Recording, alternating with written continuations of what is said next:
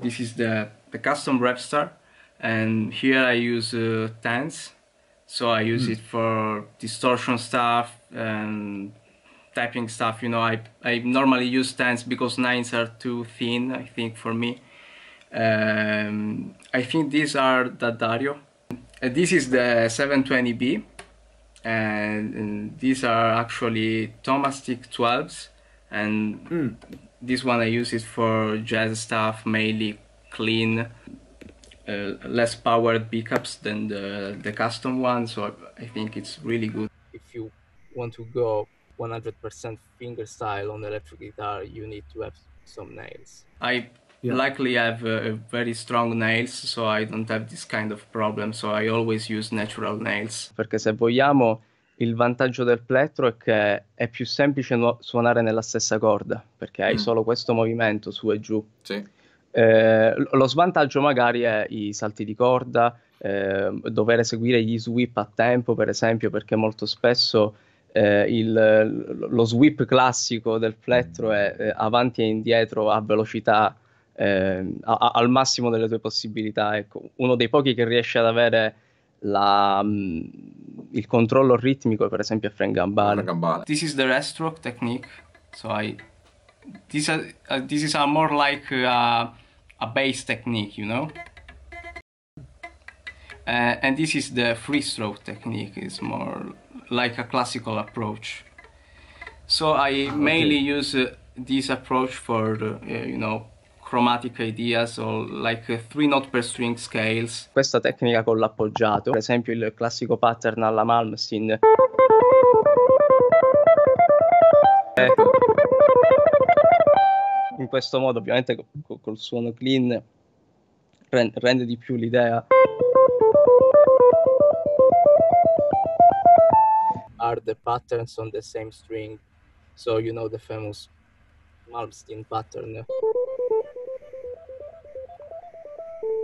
Um, these are uh, really difficult things with fingers because you have you have to you need to be really precise and uh, for for that kind of stuff, I mostly use this kind of bass technique. With, are you alternating I and M or I and M and A as well? I, I, I use all three. So uh, always uh, like the tremolo thing. Um, I no no it's, it's the opposite. So like uh, um, A M I A M I okay. That's that's very interesting because that's pretty different to like mostly you know when i was studying with fingerstyle guitar teachers if we were playing lines we would be just alternating i and m back and forth um, I, it's a bit more limited like that like you, you know for choose two note per strings pattern it's okay. Yes. uh, but, but you know I, I found myself more comfortable be, with that because the right hand is more relaxed. Uh, That's so great. I, I can you know play this kind of even if it's not incredibly clean but you need to have uh, short nails for that i think. Uh, because if you have a longer nail than the other ones you, you kind of get get stuck in the in the strings and uh, it's not a comfortable way to play if you have too long too long nails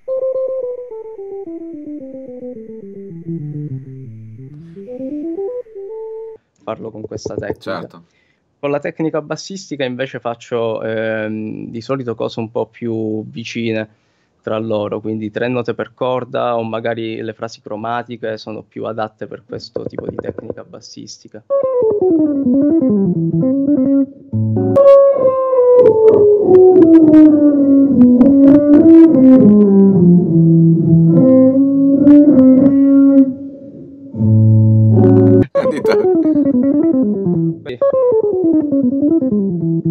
I always use this this one. So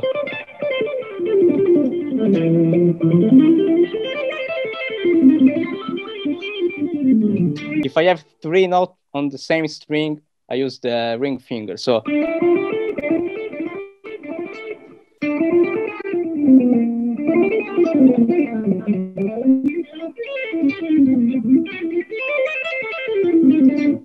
So this one is, uh, I always use uh, like um, this. Yeah, it, you're almost doing um, pointer finger economy picking. That's basically uh,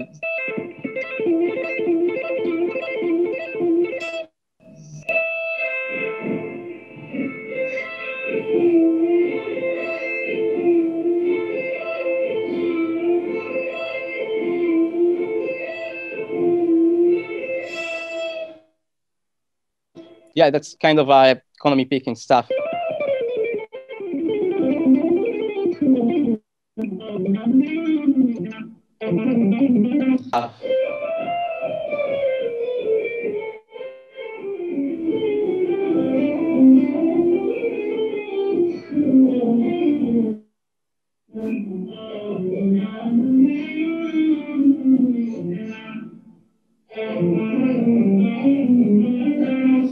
So I always use, like, like for example, this pattern here.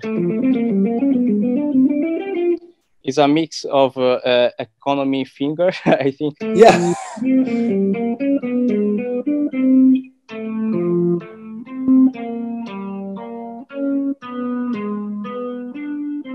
The bass technique rather than the classical technique.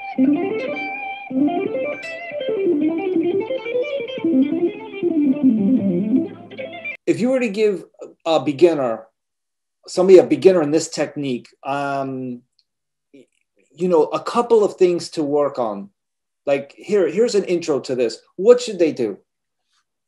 Uh, I think they should start to, uh, you know, play the the the cliches, the most famous patterns. So, like, start with. Uh, right of course it sounds boring if you play like that so i think you can apply some uh, strange stuff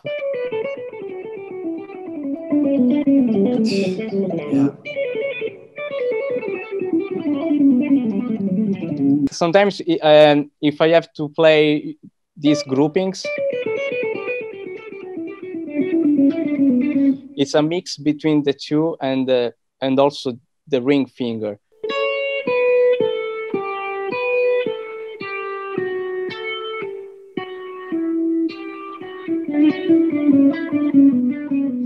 it's really a mess. I, I don't really know how I play it, but it's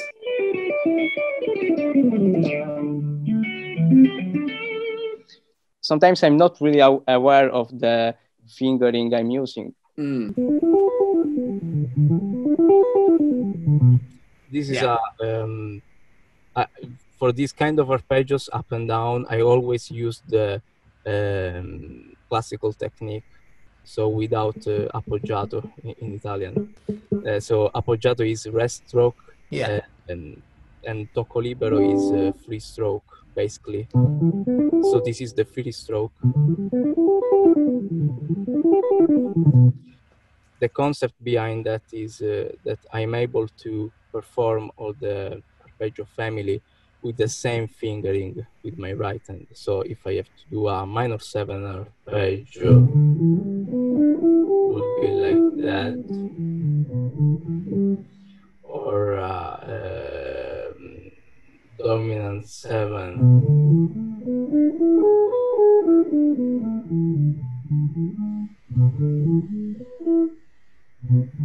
So.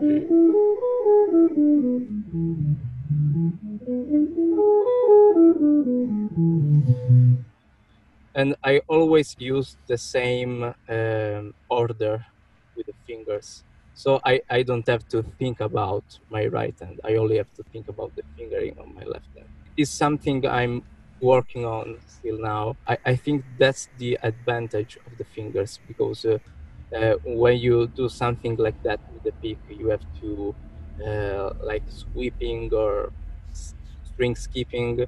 And the problem with sweeping, I think for me, is that it's only a one straight up movement. So you you need to work on a lot on the rhythmic control of that movement.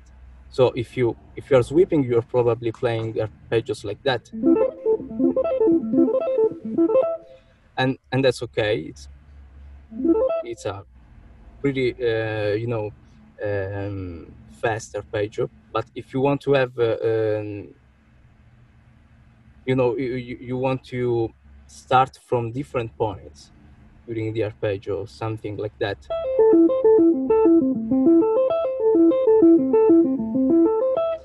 Uh, you can achieve this with fingers by staying here. Uh, this is a pretty um, easy way to do it with fingers, but with the pick, you have to skip the strings and then go down and then go up again. It's it's a really hard thing to do with the pick. So I think the the, the main uh, idea behind that is that the pick is easier on the same string, but fingers are easier on different strings. Infatti. È questa tecnica col tocco libero.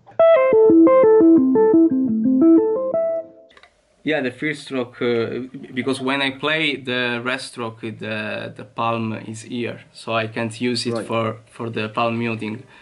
When I play like this, I can use some palm muting. I, I never mm -hmm. use it too much.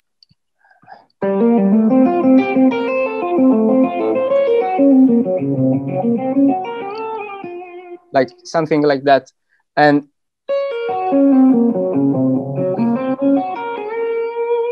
if, if I have to play something similar like that with the yeah. rest stroke, yeah, I can play it, but not at full speed. This is with the, uh, the classical stroke, with a free stroke. So mm-hmm. yeah, if I have to do this kind of arpeggios, I always play with my right hand like that.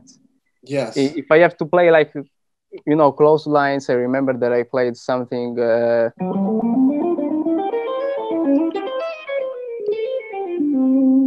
this is basically a two five one using the. Uh, uh, the diminished scale. Um, so if I have to play like uh, you know the the classic bebop lines, I always use this technique. So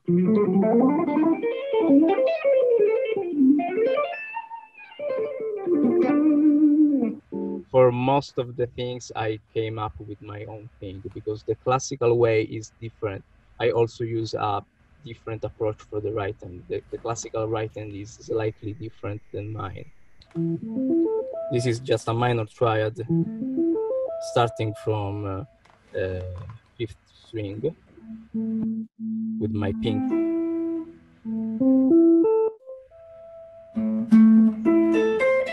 so which which order is the right hand fingers in? So the order is uh, um, okay, I, I have to remember the You could say P I M A. P I M oh, okay, so P I M A this is like very basic and here I I use the the two fingers, uh, medium and index.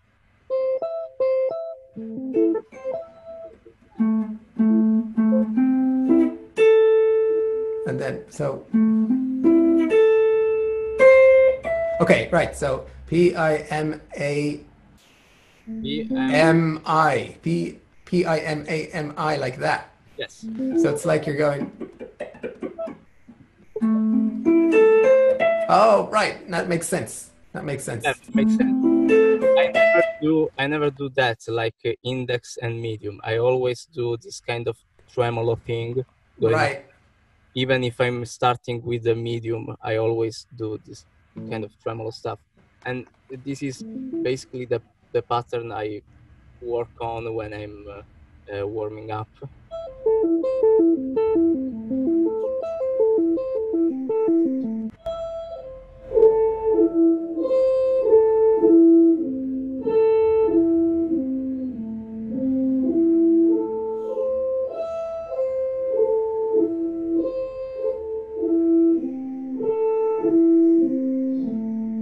There is only a pull off here. Yeah and and then you have to uh, medium index a m i. A M I P. A M I P.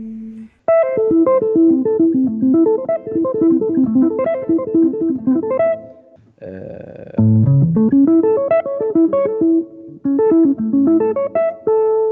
Interessante. Ok, cercherò di cambiare col suono distorto. Spero mm-hmm. non ti arrivi troppo segnale. Vai, vai.